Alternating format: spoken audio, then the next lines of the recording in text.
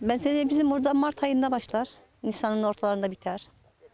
İyi güzel olur. Verimiz güzel. İyi güzel verimli oldu yağışlardan dolayı. Aradan belli olmuyor değişiyor. Daha suludur, tadı daha güzeldir.